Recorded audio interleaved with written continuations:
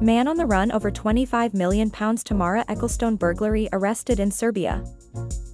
In Serbia, a man wanted for break-ins, including a £25 million raid on Tamara Ecclestone's estate, has been taken into custody.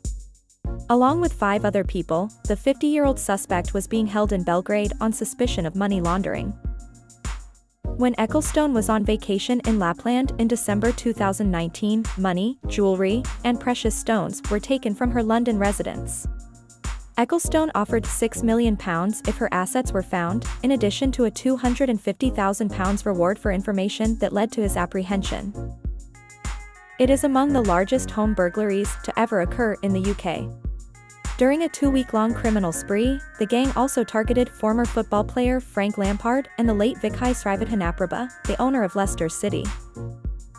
After entering guilty pleas, three Italian nationals were imprisoned in 2021, however, one suspect, Daniel Vukovic, left the country. Vukovic was identified in court as the gang's alleged fourth member and is said to go under several identities.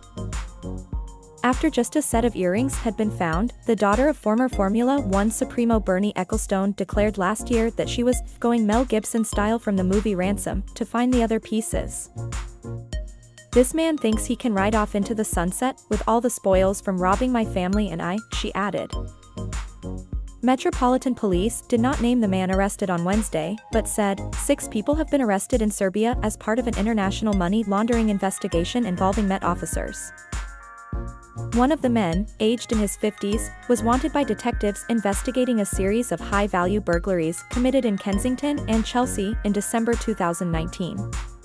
The men were arrested in Belgrade by Serbian authorities on Wednesday, December 20, supported by the Met and the National Crime Agency.